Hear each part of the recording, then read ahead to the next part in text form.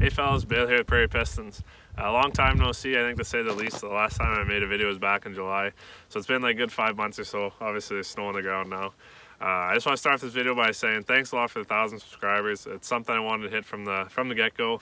I always said road to 1K, so it's pretty sweet finally being here. So yeah, thanks a lot to everyone you guys commenting, liking, really appreciate all that stuff. But yeah, let's get into the video. So you can see behind me the OBS, she got her new boots on her. Had these actually since August, so I've put around 10,000 clicks on. I'm gonna do a rotation here soon, so that'd be a good idea. So now I actually have like a kind of a sense of what these tires are like. Guys, give you guys an honest opinion what I think of them. And just kind of want to show you guys the fitment and everything like that. So I'll start off by just kind of showing you guys the side profile, how the truck sits and everything. I say it's leveled. Uh, it's not your typical leveling kit, but it's got an extra leaf in the back, and the guy before me cranked up the keys pretty good in the front. So it sits pretty damn near level, just a tiny bit of rake, but it's kind of what I like for, just I do pull the odd little thing, so I'd rather have that than squatted, that's for sure. Uh, with the torsion keys cranked up, I don't find it rides too bad, but I'm 21, I'm not 50 or anything. I'll show you guys a few different angles so you have an idea what it kind of fits like. So these are 285 70 17 Goodyear Duratracs on a 17 by 9 uh, wheel with a, I think it's around a plus one offset. So nothing crazy on the stance. It's kind of just a bit more than factory. It's basically what I wanted. I use this truck for work and a bunch of stuff. I'm on gravel all the time, so I don't need 12 wides on or anything. And like I said, it's leveled, so you're kind of limited on how wide you go. Yeah, I think it looks pretty good in the front. These trucks have a nice taper, so I mean, it always looks better in the front, but in the back, everything's kept in the wheel well pretty nice. I'll show you guys turning radius wise how close it is front and back.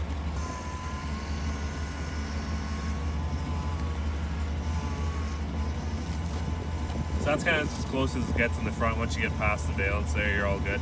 I mean, if you had to, could trim that, no problem, just plastic. In the back, it is definitely a bit tighter, but I do have these thick mud flaps. I thought about getting different ones, but I actually kind of like them for the amount of gravel I do. Don't get beat up or anything.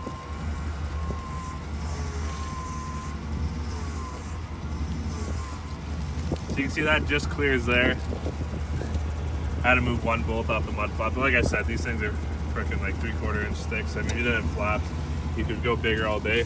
These are kind of just the perfect fit. And like I said in the spring when I got this thing, plan is get something more aggressive, bigger size on here. Probably keep these wheels because they do go pretty good on this truck. Love white letters and chrome. Chrome. Gets you more dome. Chrome. Gets you home. Chrome. Makes her moan. That's everything you need to know about chrome, fellas. They won't teach you that in high school. I think an OBS really pulls her off nice.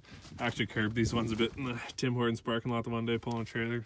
Took her a little wide, but that's pretty minor. And for those who don't know, like a metric 285 70 17, that works out to about a 33. It's like a 32.7 by 11 inch.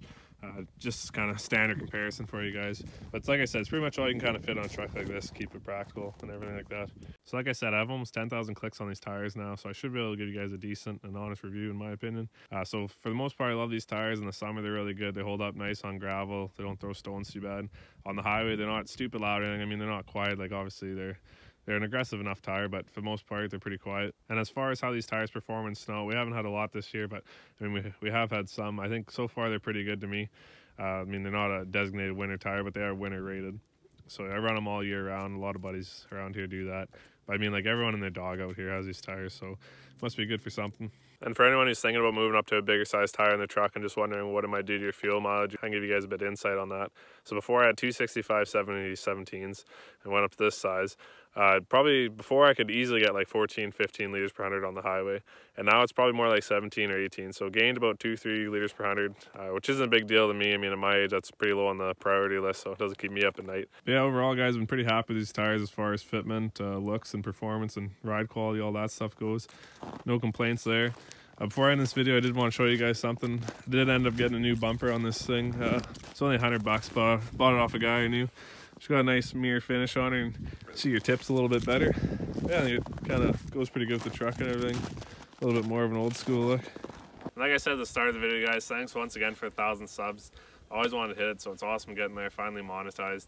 Um, uh, apologies for really slacking off on the videos and even Instagram. I honestly haven't been on been on the app for a long time. I uh, just been I actually started school again back in university as of September, and then we were in harvest there through summer. So just kind of one busy one busy thing to the next, really.